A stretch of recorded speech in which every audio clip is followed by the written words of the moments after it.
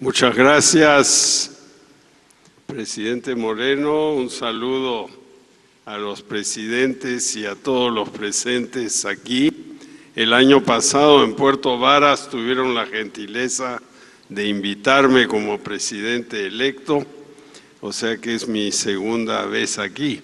Yo tengo muchos recuerdos de años atrás. Con Rodrigo Botero escribimos un editorial que se llamaba El Eje Pensante que era la idea de esta alianza, buscando cuatro países con las mismas ideas, en contraste con otros ejes no tan pensantes en, América Latina en ese momento. Y ahora tenemos que, pensar un poco en cuál va a ser el siguiente impulso en la alianza porque la verdad es que el crecimiento está atracado. ¿no? Entonces, podemos hablar de intercambio de capitales, atraer inversiones, movimiento de fondos de pensiones, de servicios financieros, todo eso, pero lo más importante para un inversionista es la perspectiva de crecimiento. Entonces tenemos que pensar en cuál es esa siguiente etapa. Y yo me rompo un poco la cabeza porque cuando yo estuve en el Ministerio de Economía tuvimos gran crecimiento y ahora tenemos un crecimiento mediocre, eh, claro que afectado por el escándalo de corrupción de Odebrecht, afectado por inundaciones, en fin, cosas que, que las inundaciones pasan, los Odebrecht no deberían pasar, ¿no? Y, todo eso nos está pasando una, una, factura. Y además, viendo aquí al presidente de México, ¿quién hubiera pensado? En México los huracanes vienen del Caribe o del Pacífico, ¿no? ¿Quién hubiera pensado que iba a venir del norte?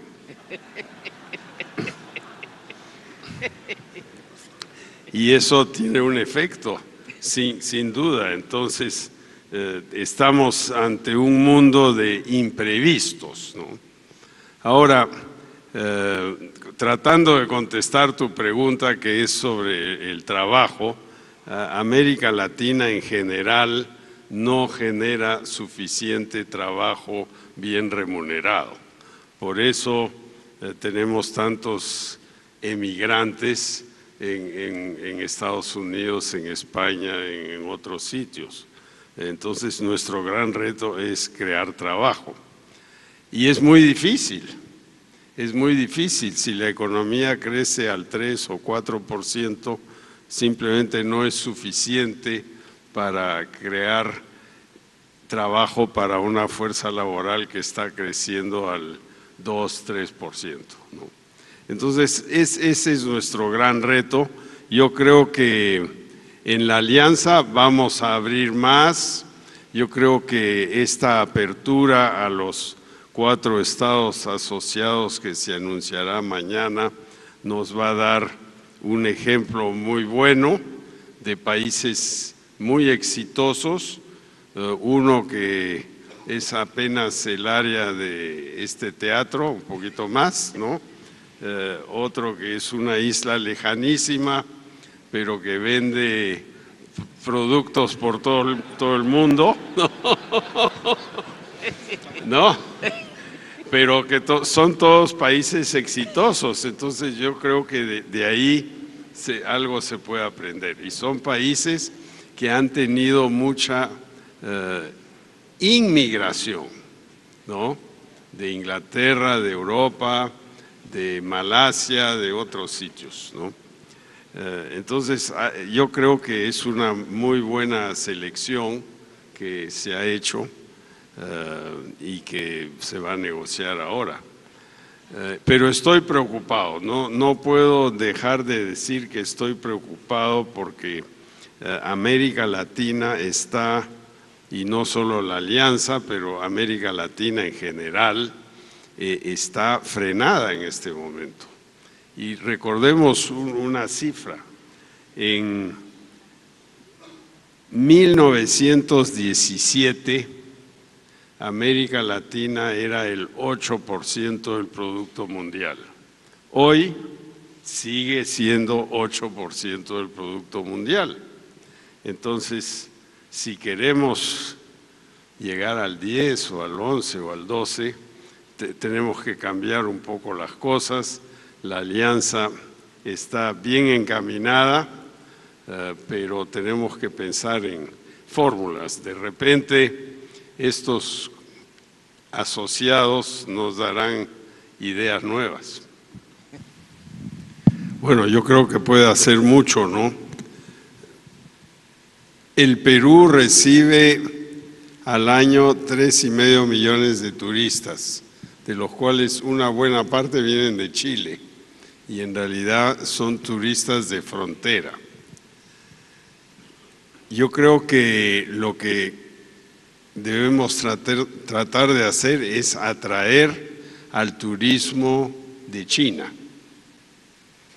y en mi viaje a China el año pasado ya empecé a sondear eso. Claro que las distancias son inmensas. ¿no? Físicamente ningún avión puede volar de, de Beijing a Santiago sin hacer escala en algún lado. Entonces, ¿qué les parece un tour así, no? Puerto Vallarta o Ciudad de México, de ahí Cartagena, o de ahí Machu Picchu, o de ahí el sur de Chile, o San Pedro de Atacama, pero tiene que ser un turismo bien organizado y el, gran turismo en el mundo hoy son eh, vacaciones cortas y los chinos trabajan todo el día, entonces no, no sé si, si van a querer tomar vacaciones largas. Pero ya hemos empezado, hemos empezado a hablar con, con aerolíneas chinas que tienen eh, no 100 aviones, 750 aviones, ¿no? Entonces, por ahí va la cosa. Pensemos que España recibe al año más de 60 millones de turistas. Francia lo mismo, ¿no? México debe estar como en 35, bueno, bastante, ¿no?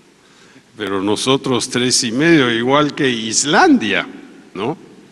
El, el Perú recibe el mismo número de turistas que Islandia. Y Chile debe estar como en seis. O sea, nosotros somos el último y, tú cinco. O sea, yo estoy perdiendo aquí, ¿no? Pero yo, yo creo que mucho se puede hacer juntando eh, dos destinos, cosas por el estilo, y, obviamente promoviendo la quinta libertad aérea, ¿no? Eh, en, en el Perú hemos abierto el tráfico aéreo llegó el otro día ahí eh, Ryanair, que en el Perú se llama Viva Air, eh, y al día siguiente las tarifas de todas las otras aerolíneas bajaron sustancialmente, ¿no? Entonces la, apertura eh, realmente es, es fundamental y el turismo es algo que nos puede traer muchas divisas, mucho trabajo, tecnología y elevar el nivel de vida y de cultura. O sea que no hay pierde.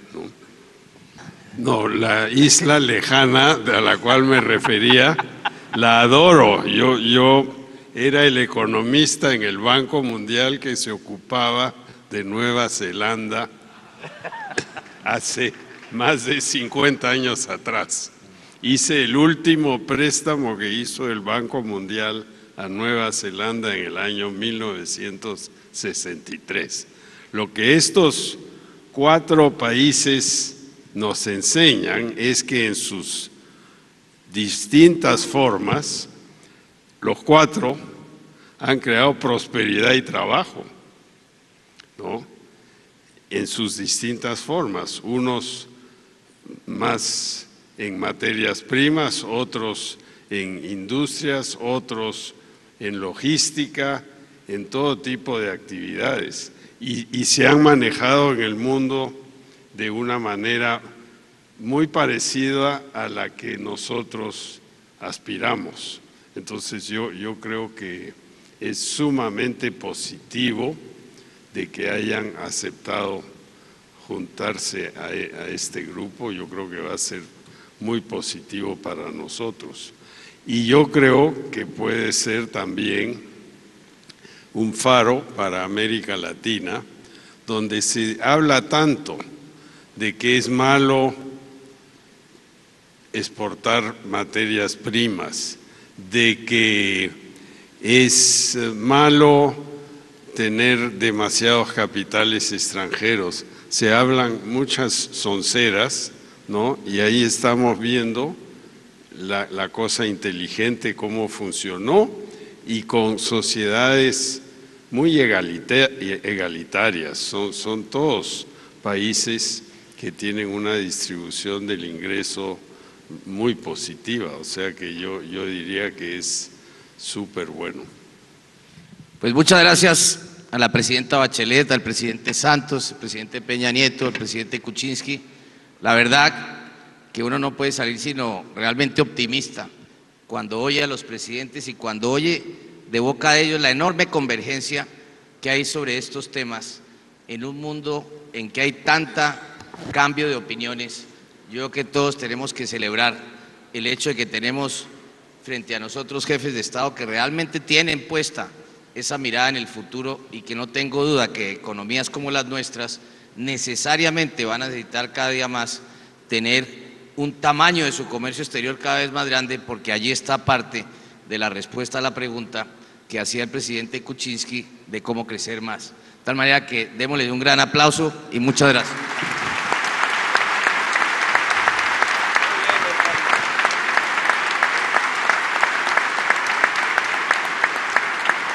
Gobierno del Perú, trabajando para todos los peruanos.